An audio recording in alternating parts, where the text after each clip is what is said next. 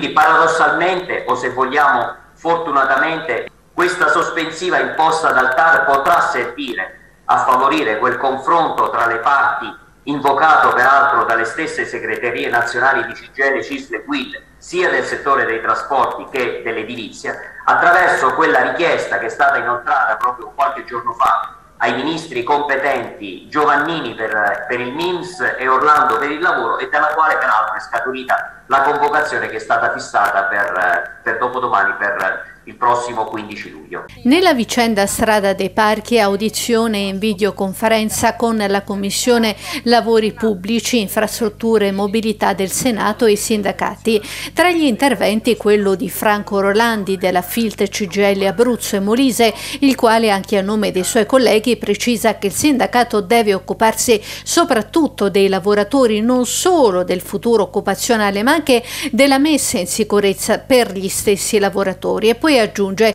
ehm, è, è del tutto evidente che un'organizzazione sindacale non ha la funzione di entrare nel merito della legittimità di un provvedimento di revoca di una concessione disposto eh, dal governo, almeno ufficialmente, leggo testualmente dal decreto, per gravi inadempienze da parte delle imprese. È un compito che notoriamente è demandato alla politica e alla magistratura, pur tuttavia noi non possiamo fare a meno di constatare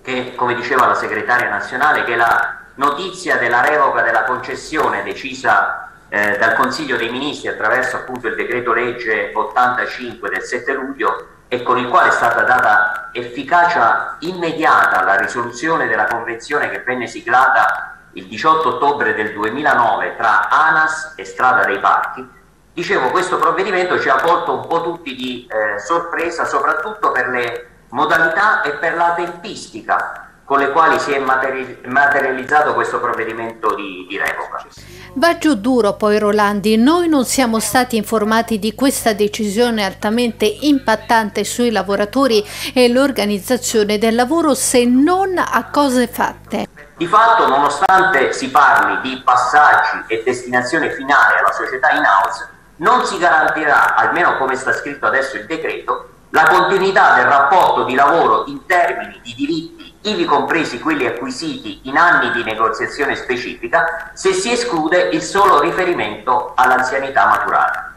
Quindi in definitiva il provvedimento non è stato preceduto da quel necessario confronto preventivo con le parti sociali che è indispensabile proprio a dirimere queste incongruenze e a garantire i livelli occupazionali complessivi, nonché quelle tutele economiche e normative senza soluzioni di continuità. Tra gli interventi Giorgia Del Rico per la Filta CGL Nazionale, Franco Rolandi appunto per la Filta CGL Abruzzo e Molise, Ezio Giorgi per la Fillea CGL Nazionale, Andrea Cuccello per la Cisla Confederale, Marco Versali per la Will Trasporti.